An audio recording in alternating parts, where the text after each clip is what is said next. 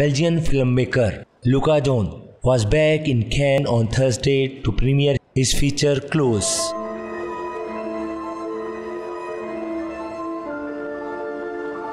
The 31 year old director won the Camera d'Or award for the best directorial debut at the 2018 Cannes Film Festival with his first full length movie Girl, a drama about a transgender teenage girl's quest to become a ballerina.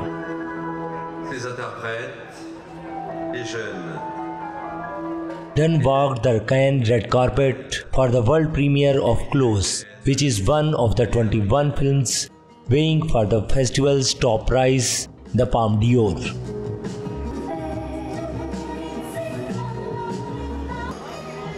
Close centers around the friendship of two 13 year old boys.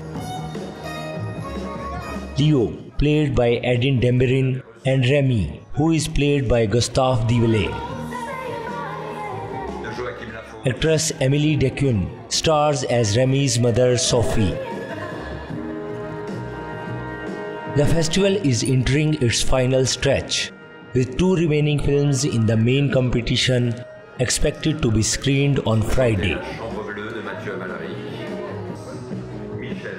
The jury, led by French actor Vincent Lindon, will award the top prize in a closing ceremony on Saturday.